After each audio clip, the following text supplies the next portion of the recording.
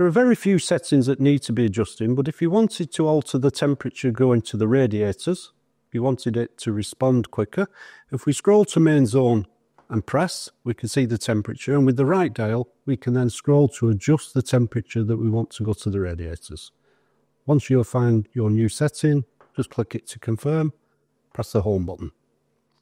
To adjust the hot water, again, if we scroll this uh, left dial to tank, and we press it. There's the temperature setting. Again, we can adjust it either way. We can confirm that. And if we press the left dial again, we get the option of powerful operation. We click again and select on.